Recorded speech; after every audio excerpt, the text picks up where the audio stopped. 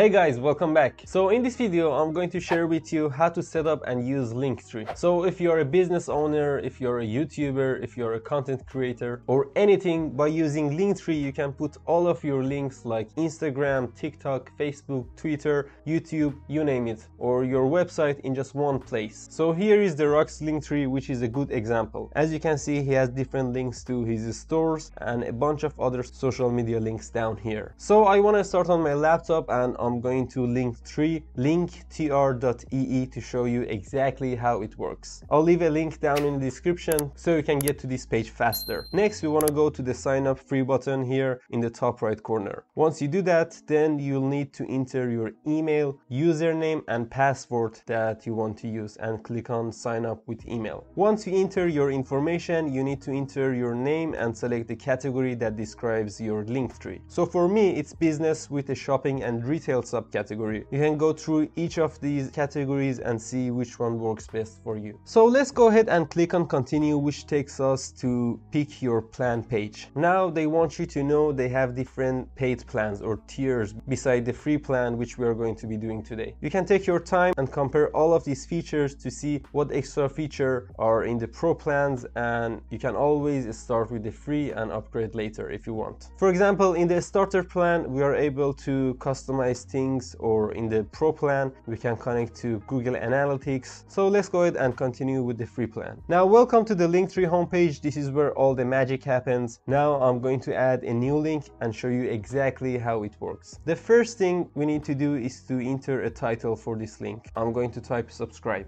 Next, we need to enter our link, which is youtube.com Ali and ask visitors to subscribe. Now, as you can see here on the right side, this is what it's going to look like. You have your links here, you have your username and profile picture here as well. Now there are a few options that you can do for your links. You can redirect to a link, you can add a picture or icon, you can schedule when your links go live, you can lock which means visitors can only access this link with a code or other options and finally you can see your links analytics like views or locations. Some of these features may not be available to free members, but don't worry, with the free plan, you're going to have everything you need to get started. Now, if you want to add other links, we can simply go to add a new link again. I'm going to add all of my links and I'm going to show you what it's going to look like. So as you can see, I added all of my links. This is the link to my YouTube channel. This one is a link to my Amazon store. This is a link to my business courses on YouTube Udemy. I added a contact form here and down below we have other links to my Instagram page, YouTube or other social media accounts. I'll leave a link to my Linktree in the description so feel free to check out, explore all of my links and make sure to follow me on Instagram as well. So if you want to move these around, we can click on the three dots on the left side and simply drag the links. So if you go to the appearance section from the top left corner, we can see that there are lots of options to customize. The first first thing we need to do is obviously to pick an image and select our profile photo as well as title which could be your name. And if it's a business page of course it's gonna be your business name. Next we are gonna have a bunch of pre-made themes. As you can see there are a few themes that are only available to paid plans. But if you scroll down we can see there are a lot of free themes available. If you didn't like any of those themes you can completely customize your profile. From here we can select a background that can be a flat color or a gradient. Next, we can select our buttons shape like sharp, round with a hard or soft shadow. And finally, we can select our font as well as color. Now,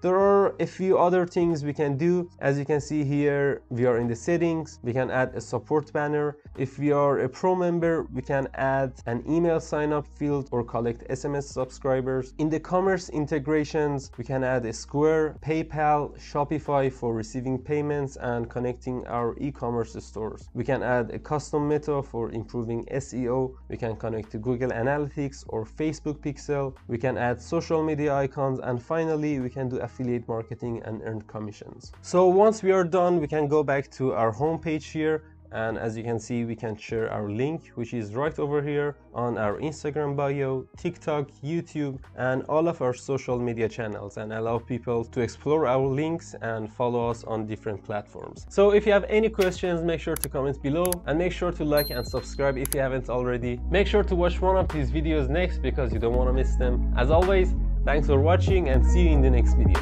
Cheers